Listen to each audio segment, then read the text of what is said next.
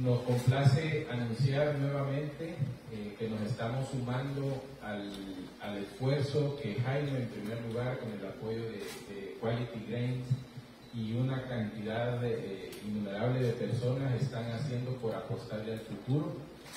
Eh, en los niños estamos yendo más allá de esa frase trivial y un poco eh, sobreutilizada acerca de que el futuro está en ellos. Estamos yendo más allá y esta mañana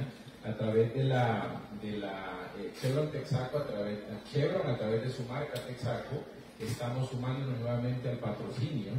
de este torneo que va a dar inicio, entiendo, el 28 de octubre,